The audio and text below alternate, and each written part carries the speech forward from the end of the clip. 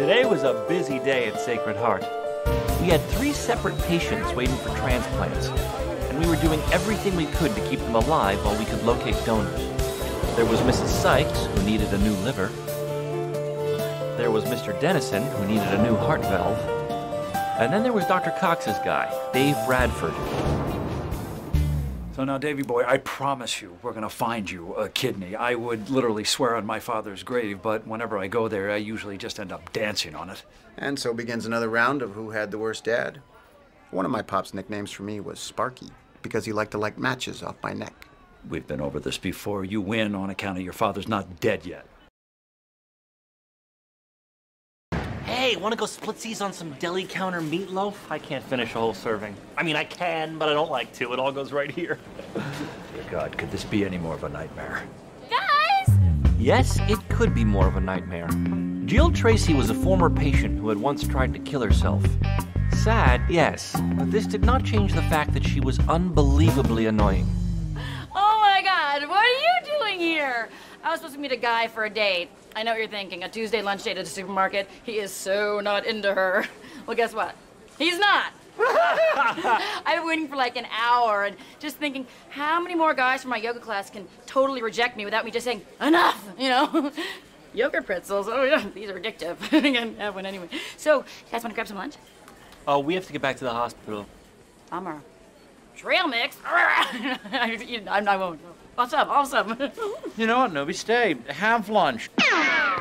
One of those emergencies I should probably go to. How are things? Dr. Dorian, can you help me? Sure, what's going on? She was admitted a short time ago and she hasn't regained consciousness. Tox Toxrin's positive for cocaine. Do you think she could have OD'd? She had been uh, stood up on a couple dates, and uh, she hadn't seen her shrink in a while. She was definitely depressed.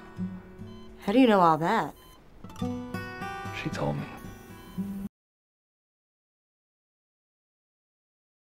And with organ transplants, if there's good news for one doctor, People, I've got organs.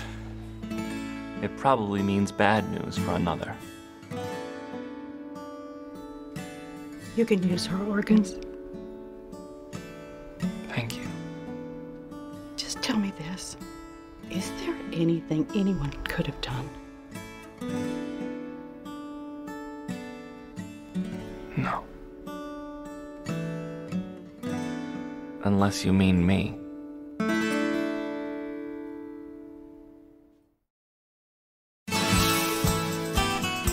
It's amazing how quickly people improve once they get a new organ. Whether it's Mrs. Sykes with her new liver, Mr. Dennison with his new heart valve, or Dave. How, uh, how's that new kidney feel, huh? A little loose, but I'll get used to it. yeah, you will. Hey, thanks for everything, man. I'll sweat it. All right, people, gather around. Here we go. Now, I'm sure we all recognize just how rare it is to get a win like this, but seems as we are surrounded by patients who are clinging to life, I'm going to give kudos in whisper form. And since I am an egomaniac, first props come to me. Let me hear it, people. You are some kind of superhero. You're a god. You're a beautiful healer. This was not a complete and total solo effort. It was an extraordinary job done by each and every one of you.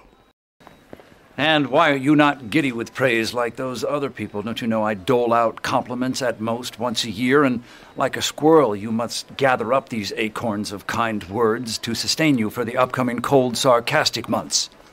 Any idiot could have seen that Jill was in trouble.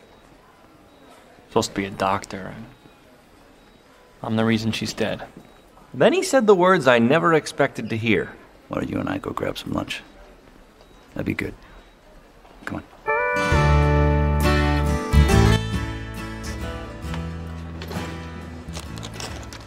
You know what I was thinking the whole time I was having lunch with Jill? What's that? God, this girl's annoying. I saw her in that supermarket too, but I'm not torturing myself. Would you like to know why? Why?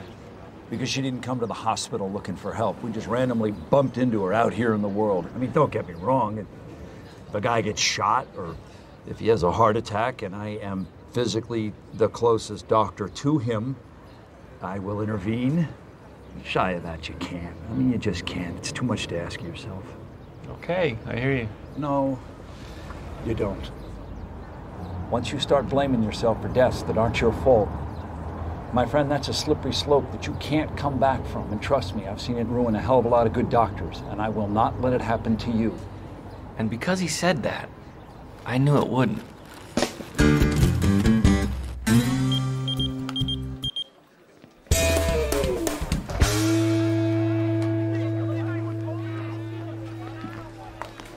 The hell is going on? Everybody's failed.